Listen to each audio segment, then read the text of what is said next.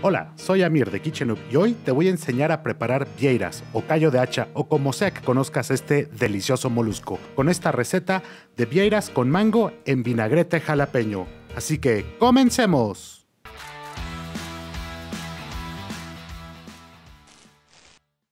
Para preparar nuestras vieras vamos a necesitar de los siguientes ingredientes. 6 piezas de vieras o callo de hacha grandes, bien sequitas, inclusive pueden secarlas aún más con una servilleta.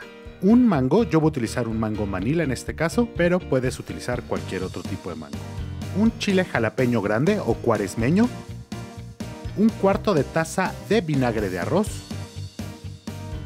un cuarto de taza de aceite de oliva regular, de preferencia no utilicen extra virgen porque da demasiado sabor, un cuarto de cucharadita de mostaza tipo Dijon, dos cucharaditas de aceite vegetal o aceite de semilla de uva, cualquiera de los dos, y por último sal y pimienta al gusto. Recuerda si es la primera vez que me visitas, no olvides dejarme un like, suscribirte al canal y darle clic a la campanita para que no te pierdas de ninguno de nuestros videos. Lo primero que voy a hacer es tomar mi mango manila y voy a rebanarlo alrededor de la semilla. Voy a tomar una de esas mitades, voy a hacer unos cortes a lo largo y con la ayudita de una cuchara voy a sacar mis trozos de mango.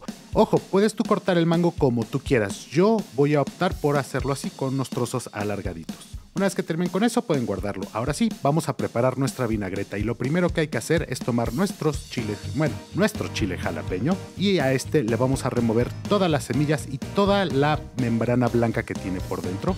Y una vez que lo hayan limpiado muy bien, lo voy a cortar en unos cuantos trozos. Esto es opcional, yo lo hago para que sea más fácil molerlo. Y vamos a tomar nuestro chile jalapeño y lo vamos a colocar o en una procesadora de alimentos o en nuestra licuadora.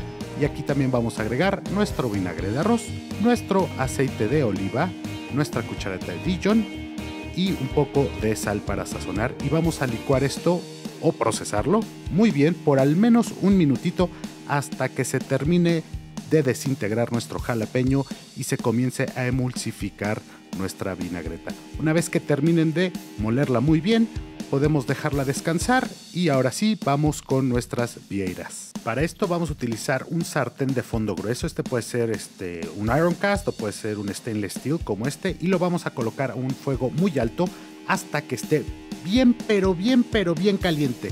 Ese es el secreto de un buen sellado en unas vieiras. Mientras eso se calienta, voy a sazonar mis vieiras con sal y pimienta al gusto. Aquí aprovecho para mostrarles algo. Normalmente las vieiras las puedes limpiar, tienen este, esta membrana blanca, si ahí la puedes ver, que puedes agarrar con tus deditos y simplemente la vamos a jalar. Esa membranita de hecho es lo que une a la viera a la concha del molusco. Se puede comer, pero suele ser un poco más dura, entonces yo prefiero removérsela y tener mis vieiras más limpias. Una vez que mi sartén esté a punto de comenzar a humear, quiere decir que mi sartén está bien calientito, y ahora sí voy a agregar mis dos cucharaditas de aceite vegetal. Y una vez que comience justo antes de humear, aquí me ganó porque estoy grabando, pero antes de que empiece a humear voy a colocar una por una mis vieiras. Pueden comenzar con el lado que ustedes quieran, de preferencia usen el lado que esté un poquito más ancho. Y vamos a colocarlas separándolas por al menos unos 2 o 3 centímetros una cada una para que no se haga vapor. Y recuerden que sus vieras deben de estar bien bien bien bien secas antes de colocarlas aquí porque la humedad es la enemiga de nuestro sellado. Y vamos a cocinarlas por al menos un minuto y medio a dos minutos. ¿por qué varía? porque depende del tamaño de sus vieras cuánto tiempo van a tener que estarse cocinando. Yo uso como referencia esa linita que ahí les pude señalar que se ve que ya cambió de color. Cuando llega casi a la mitad del cuerpo la vieira, para mí es señal de que ya está y la voy a comenzar a voltear. Y como puedes ver, el sellado está perfecto, está hermoso como se están sellando mis vieiras. ¿Ya vieron? Vamos a voltearlas y continuarlas cocinando por otro minuto y medio a dos minutos. Una vez que terminen de cocinarlas, nuestras vieiras están listas para servirse. Idealmente esto lo dejamos hasta el final de todo, por eso preparamos nuestra vinagreta y nuestros cortes de mango antes porque lo mejor de unas vieras es unas vieras recién saliditas de ese sartén. Una vez que sus vieras se terminan de cocinar por un minuto y medio a dos de cada lado, ahora sí podemos removerlas del fuego y vamos a comenzar a emplatar. Yo voy a utilizar tres vieiras por cada persona y las voy a adornar con mis rebanaditas de mango, pero recuerda que tú puedes utilizar cualquier otra fruta, puedes utilizar naranja o mandarina o kiwis o cualquier otra cosa que creas que se va a llevar bien con esas vieiras. y también voy a agregar mi vinagreta de jalapeño que recuerda que también puedes utilizar en tus ensaladas si así lo deseas. Y esta vinagreta y el mango se llevan increíblemente bien con estas vieiras. Bueno, espero que te animes a comprar esos callos de hacho o esas vieras, como sea que les llames en tu país, y las pruebes. No necesitas ir a un gran restaurante para probarlas. Es la cosa más sencilla de preparar y es difícil de arruinar la receta porque es muy sencillo hacerlas.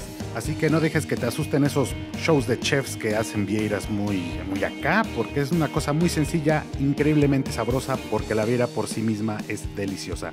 Es súper dulce y deberías de probarla y espero que lo hagas. Aquí a la derecha te dejo unos videos más que puede que te gusten. Aquí arriba el botón de suscripción y nos vemos la próxima semana en el siguiente capítulo de Kitchen Up. ¡Hasta luego!